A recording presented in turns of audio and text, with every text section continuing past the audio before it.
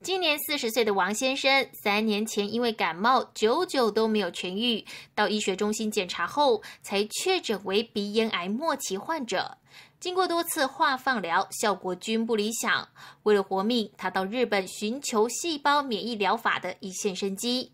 治疗七个月后，肿瘤缩小了百分之三十。虽然副作用极低，但该治疗目前在台湾仍然还没有合法。啊，可是这个疗法。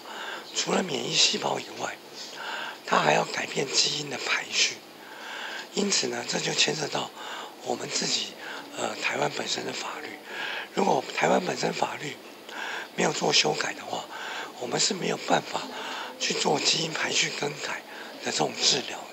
高一细胞免疫治疗室主任林成龙说明，细胞免疫疗法是取出癌症患者的自体免疫 T 细胞，经过实验室体外培养，增强抗癌性，再借由基因重定序的方式回输到癌症患者体内。国内纵使有技术，但法规目前仅针对部分癌症种类以及有限的名额开放。台湾的法律目前的规范是一定要从事临床实验，这本身并没有错误。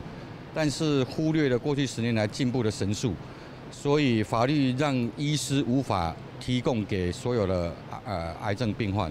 虽然目前卫福部正在正在朝这个方向前进。嗯部回应，目前已经加速修订人体试验管理办法以及相关附属治疗计划，医师可以在临床阶段就提出申请，经过评估安全无虞之后，可以让无法被收进人体试验的癌症患者也有机会自费接受免疫细胞疗法，但一切都仍然需要时间。